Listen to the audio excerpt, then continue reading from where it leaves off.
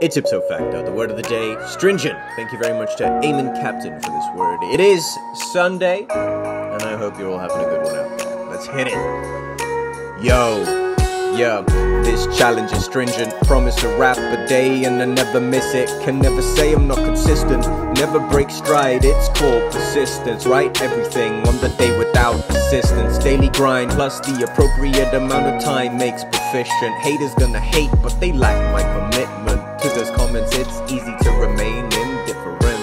Yeah. Success is not an overnight thing, it's a burn the candles at both ends type thing. Consequence of taking risks and spreading wings. Turning up every day and giving everything. It's the courage you need to step into the ring. The strength that only the unknown can bring, which can be found when you take your comfort to the brink.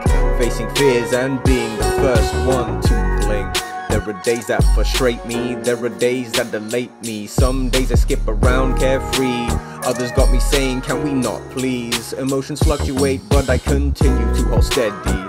Doesn't matter when you have consistency, when you stick to the process deliberately, it's the only way to improve your ability.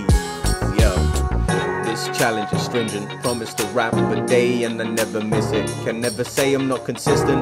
Never break stride. It's called persistence. Write everything on the day without assistance. Daily grind plus the appropriate amount of time makes proficient. Haters gonna hate, but they lack my commitment to those comments. So easy to remain indifferent.